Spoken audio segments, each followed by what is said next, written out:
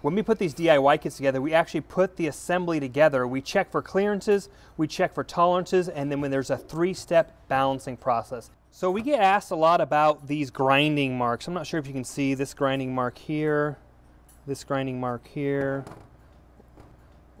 maybe those grinding marks right here, maybe those grinding marks right there. What those are are balancing marks. So when these get balanced, you actually remove material to get them into balance and tolerance.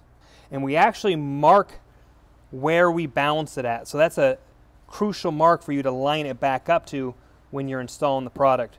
What I recommend you do is not use a torque wrench. I don't know how or why, but somehow when customers use torque wrenches, they tend to break these. Uh, we build thousands of turbos a year and never snap the shafts. It's not a shaft problem, but for whatever reason, customers break them all the time.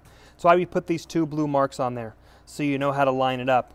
I'm going to show you how to line them up and how much to tighten it.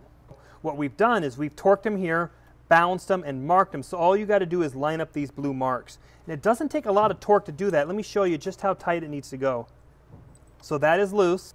So when you're tightening it, it's going to snug up just before the blue marks touch. But you see how they're almost lined up but not lined up? That's all the torque it takes. Done. Doesn't matter where you start the wheel. A lot of people worry the threads won't line up. No, the threads line up the same every time. When you torque it back down,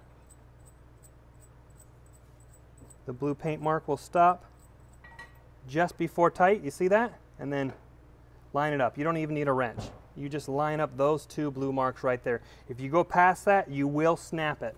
Also, in case anyone's worried, these naturally tighten as they're running. So by the way that they rotate, the turbo itself will tighten the compressor wheel when it's running. Uh, keep in mind that 7.3s are righty-tighty, lefty-loosey.